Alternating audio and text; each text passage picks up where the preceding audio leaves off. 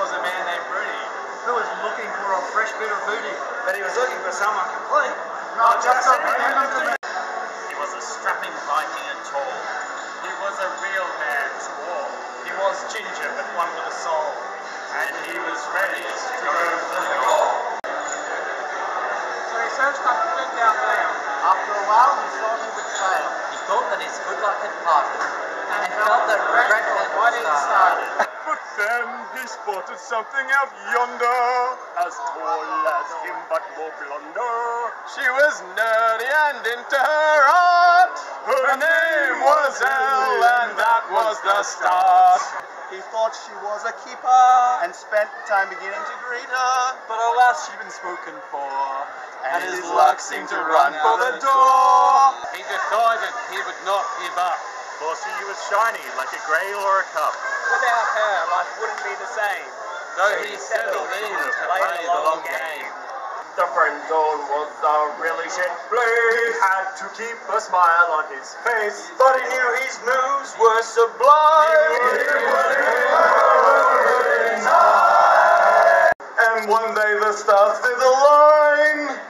Said to himself, "She could be mine." It was time to pluck up the guts and He asked her after one beer or three. Would you like to go out with me? Several you have been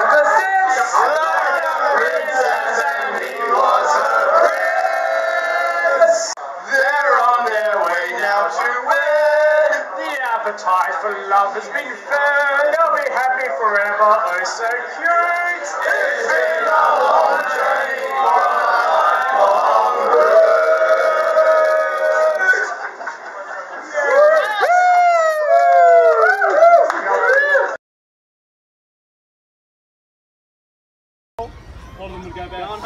Going home. Ball. Why didn't you go home, Mom? You son of a fucking